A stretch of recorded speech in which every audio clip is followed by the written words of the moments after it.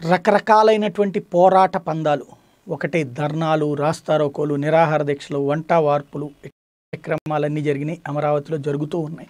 ఉద్యమాలు జరుగుతూ ఉన్నాయి పాదయాత్రలు బస్సు యాత్రలు ఇవన్నీ జరుగుతూ ఉన్నాయి. ఇట్లాంటి సందర్భంలో తాజా పరిణామం కీలకమైనటువంటిది వినబడుతున్నటువంటి మాట. ఇక న్యాయస్థానం మీదనే ప్రధానంగా ఆధారపడ్డం. ఎందుకంటే ఇటు ఇది జరుగుతున్నటువంటి వేళ అటు ప్రభుత్వం తన కార్యకలాపం సాగించుకుంటూ పోతుంది.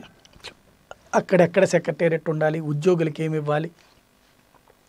పవర్ కమిటీ స్పష్టంగా వాళ్ళు కూడా అక్కడికే రాజధాని ఉండాలన్నటువంటిది హైకోర్టు అక్కడ ఉండాలన్నటువంటిది ఈ సంకేతాలన్నీ స్పష్టతతో కూడి ఇవ్వటం దాదాపుగా ఈ నెల పద్దెనిమిది ఇరవై ఆ సందర్భంలో అసెంబ్లీ పెట్టి అసెంబ్లీలో దీని గురించి తేలుస్తారన్నటువంటి ప్రశ్న నడుస్తోంది. ఇట్లాంటి సందర్భంలో కీలకమవుతోంది.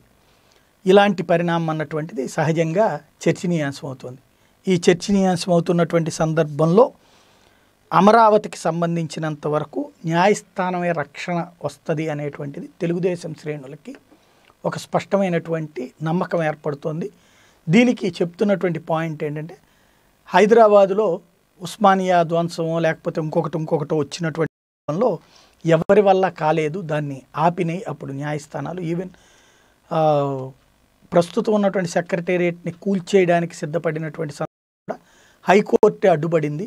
చివరికి మళ్ళీ బుర్గుల భవన్లోకి వెళ్ళేటువంటి ముందర అంటే ప్రభుత్వం గట్టిగా వాదించి అక్కడ లీకేజీలు ఉన్నాయి ఇట్లాంటివన్నీ చెప్పిన తర్వాత ఆగింది. అది పాత భవనాలని చెప్పడం వల్ల కోర్టు కూడా అది ప్రభుత్వ ఇష్టమని వదిలేసింది అన్నది.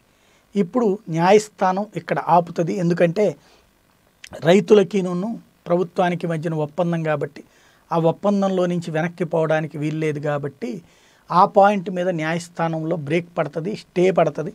చివరిలో ఓకే చేసినా ఓ రెండేళ్ళు పోయిన తర్వాత ఓకే చేస్తారు. అప్పటికి ఇదంతా ఆగిపోతుంది అనేది. అయితే వైసీపీకి సంబంధించినటువంటి నాయకులు మాత్రం ఖచ్చితంగా అది అమరావతి రాజధానిని మారుస్తానంటే కనుక కోర్టు అడ్డుపడచ్చు కానీ అమరావతి కూడా రాజధానిగా ఉందన్నప్పుడు వైజాగ్లో సెక్రటరీ పెట్టుకుంటానంటే కోర్టు అడ్డుపడేటువంటి అవకాశం లేదు.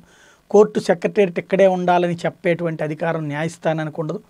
అదే సందర్భంలో ప్రభుత్వ పాలన ఇక్కడే ఉండాలని చెప్పి చెప్పడానికి న్యాయస్థానానికి అధికారం ఉండదన్నటువంటి వాదనని వైసీపీ శ్రేణులు చేస్తున్నారు.